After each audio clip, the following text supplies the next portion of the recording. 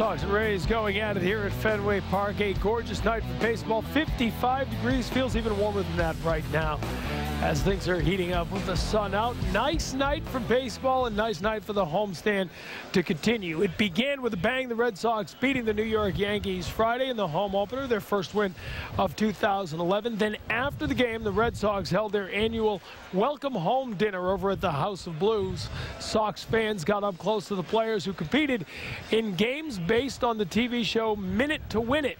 We look back on the night now, which raised money for the Red Sox Foundation. It's a minute to win it.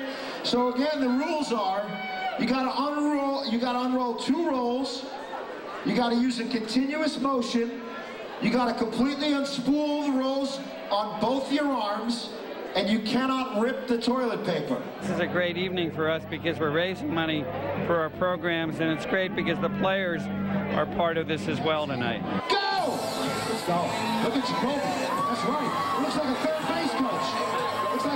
Looks like a third base coach right there. Swim, Darnell, swim! That's it, that's it. Good, good. You gotta keep it on your arms.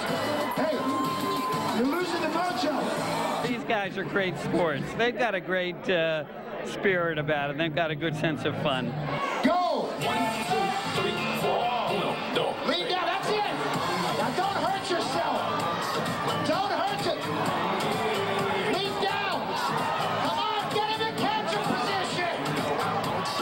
give out scholarships to disadvantaged kids in sixth grade in, in Boston Public Schools. And then we mentor them for six years. And if they get through uh, high school and want to go to college, we give them a $10,000 scholarship. It's an incentive for them to stay in school. And more importantly, we then really guide them through what are very challenging middle years. I hit the catcher's mitt right over home plate. And more importantly, I found my slogan for life. I'm aiming high and far, and I'm never looking back. These are kids who come from the toughest of circumstances, and yet here they are. They're getting a, a leg up, and I think that they're actually going to be productive as they go forward and not be, you know, pushed aside and be in gangs or drop out of school. And these kids are great.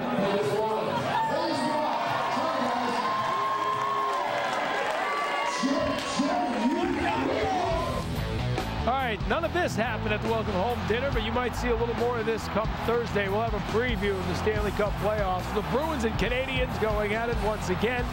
Kathryn Tappen, Barry Pederson have a preview in just a moment.